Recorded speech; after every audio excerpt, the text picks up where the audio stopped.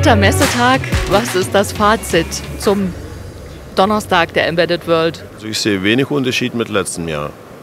Wir waren ja auch selber äh, unterwegs. Wir haben äh, unsere Kunden besucht und befragt und hatte das Gefühl, man geht mit der Situation um und macht das Beste draus. Das Gefühl habe ich auch. Ich würde sagen, die Realisten sind hier und, äh, und wir genießen das auch. Was nehmen wir von der, von der, für die Messe mit?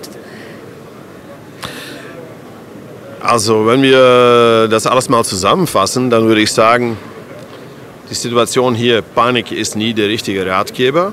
Ja? Jeder hätte hier sein müssen, um, um seine Kunden zu treffen. Und dass Leute hier in Europa wieder mehr miteinander machen, dass die Lieferkette hier wieder verstärkt wird, dass wir lokal auch äh, fertigen und dass wir das äh, als eine mehr stabilere äh, Wirtschaft ausbauen. Also wir stehen dafür offen. Ich hoffe, der Rest auch.